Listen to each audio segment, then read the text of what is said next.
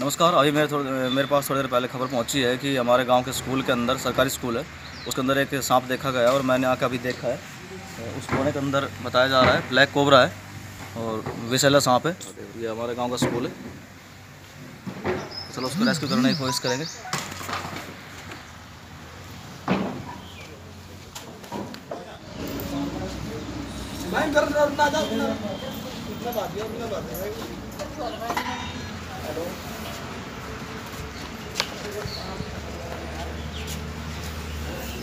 ये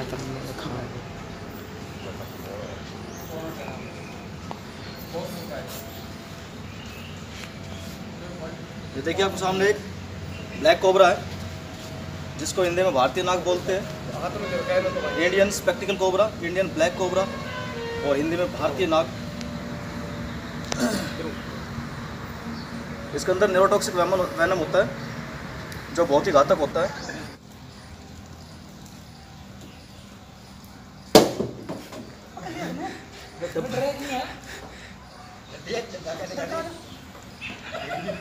थोड़ी जूम कर ली वीडियो जूम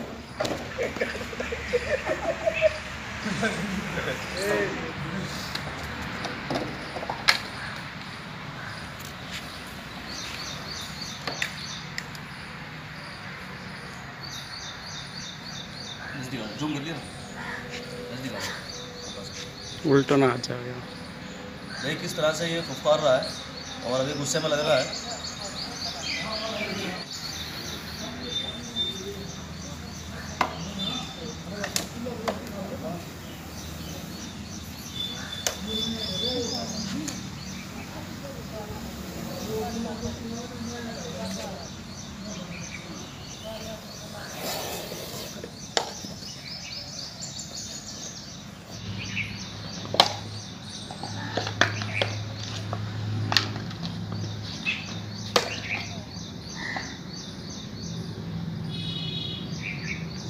लगाओ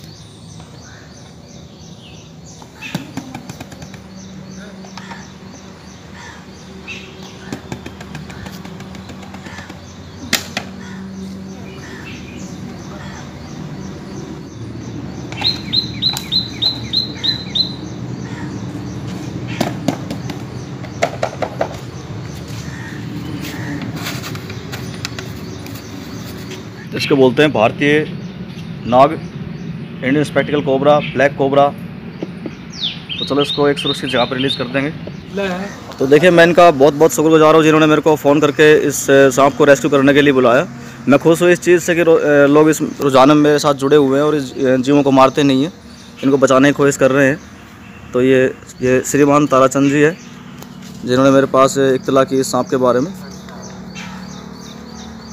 और आप? श्रीमान मदन कुमार जी हैं। श्रीमान कृष्ण कुमार जी हैं। सुनील। और ये सुनील कुमार जी। और ये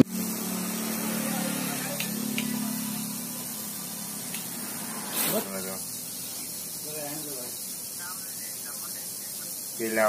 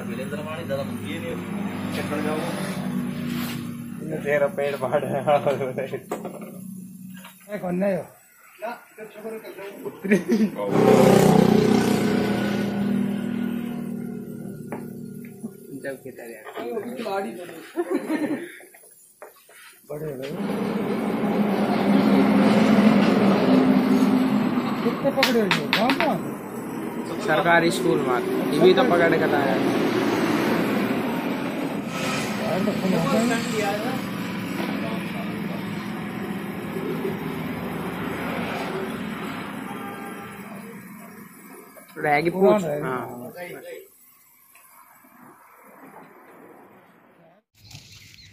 वेलकम बैक अभी थोड़ी देर पहले हमने जो अपने टेढ़ा दीपालपुर गाँव से एक सरकारी स्कूल से एक ब्लैक कोबरा रेस्क्यू किया था उसको हम यहाँ पे छोड़ने के लिए आए और बहुत ही अच्छा इलाका है बहुत ही अच्छा एरिया है इसके लिए।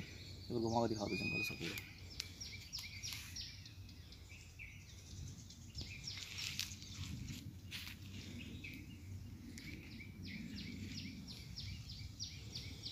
तो ये एक जंगल टाइप है और इसमें कोबरा से रह सकता है। ये देखिए ब्लैक कोबरा है। जिसे हिंदी में भारतीय नाग बोलते हैं। आपको सामने इसको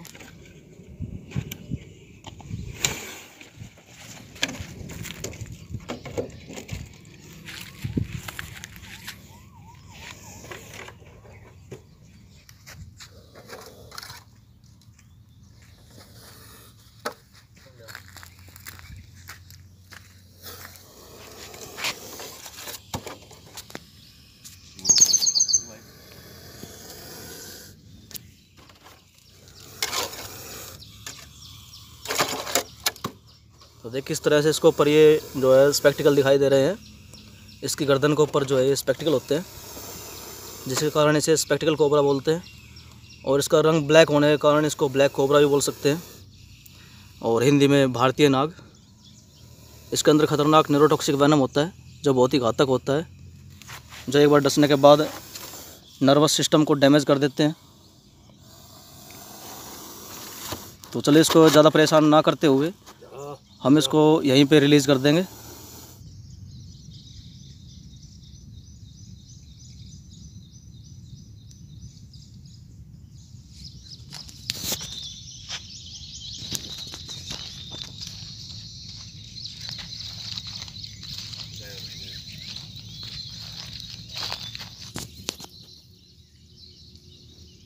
तो देखिए यहाँ पे, इस जगह पे ये झुंडे के अंदर बिल है।